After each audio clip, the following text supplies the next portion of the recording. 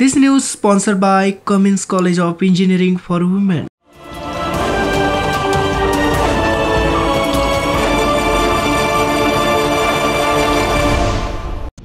नमस्कार, स्वागत है आपका इन बिसिन न्यूज़ पर। आज के टॉप 20 में मैं हूँ आपके साथ भाग्यश्री।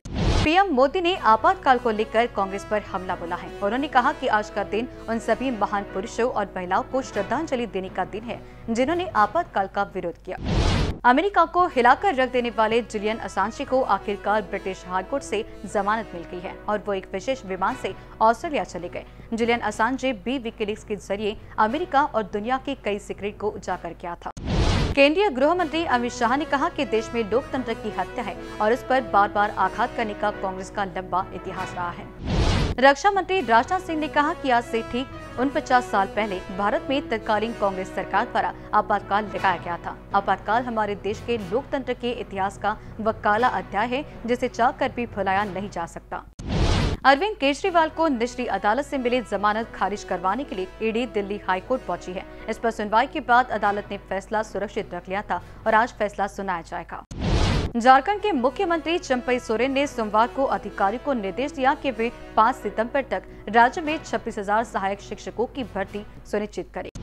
यूपी में लोकसभा चुनाव परिणाम पर 25 जून तक यूपी बीजेपी की समीक्षा रिपोर्ट तैयार हो जाएगी, जिसे दिल्ली में होने राष्ट्रीय पदाधिकारियों की बैठक में रिपोर्ट रखी जाए महाराष्ट्र विधान परिषद की 11 सीटों पर चुनाव घोषित कर दिए गए हैं। 25 जून से नामांकन भरे जाएँगे और 12 जुलाई को सुबह 9 बजे से शाम 4 बजे तक मतदान होगा। उसी शाम चुनाव नतीजे भी आ जाएँगे।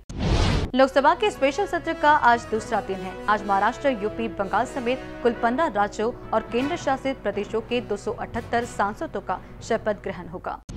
मंत्री आतिशी का दिल्ली जल संकट को लेकर अनशन समाप्त। तबियत बिगड़ने के बाद अस्पताल में करा गया भर्ती। महाराष्ट्र के मुख्यमंत्री एकनाथ शिंदे ने सोमवार को कहा कि शिवसेना को लोकसभा चुनाव में उद्धव ठाकरे की अगुवाई वाली शिवसेना यूबीटी से कम सीटें मिली, लेकिन उनकी पार्टी का स्ट्राइक रेट बेहतर रहा। मुंबई में कटी उंगली वाले ऑपरेटर मैनेजर की ब्लड रिपोर्ट नॉर्मल आई है। उसे कोई गंभीर बीमारी नहीं है और उंगली में ब्लड नहीं होने से ये भी क्लियर नहीं हो सका है कि उंगली उसी की है। पुणे शहर के लिक्विड लेजर लॉन्च पार्क के एक वीडियो में कुछ लोग नशीला पदार्थ लेते दिखाई दे रहे हैं। इस मामले में कार्रवाई करते हुए पुलिस ने चौदह लोगों को गिरफ़्तार किया। महाराष्ट्र के सीएम एकनाथ शिंदे ने सोमवार 24 जून को पुणे के पुलिस आयुक्त अमितेश कुमार से बात की और उन्हें अवैध पब्स के खिलाफ सख्त कार्रवाई करने के आदेश दिए हैं।